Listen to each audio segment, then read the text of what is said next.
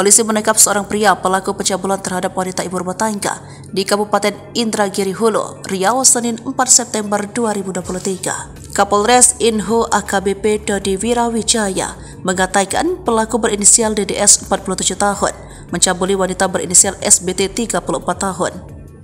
Pelaku mencabuli korban dengan modus mengaku sebagai dukun yang bisa membantu korban memiliki anak. Nah, korban ini sudah 12 tahun menikah, belum punya anak, kata Dodi dalam keterangan tertulis kepada Kompas.com Senin 4 September 2023.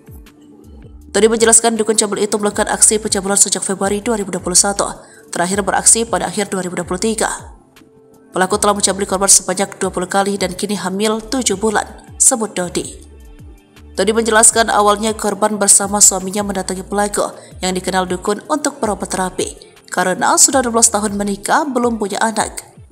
Setelah beberapa kali berobat terapi, kata Dodi, pelaku menawarkan untuk memiliki pelindung diri berupa cincin dan kain yang telah didoakan pelaku, seharga 2,1 juta rupiah.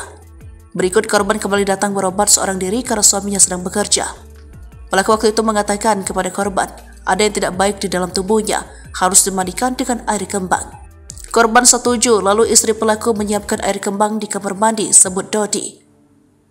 Saat inilah kejadian pencabulan itu terjadi.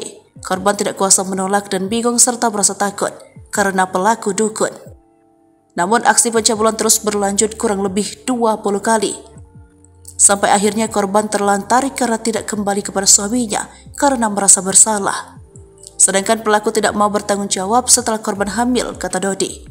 Korban tak terima dan melaporkan pelaku ke Polres Inho. Setelah dilakukan penyelidikan, petugas menangkap pelaku dengan sejumlah barang bukti berupa peralatan dukun hingga pakaian korban.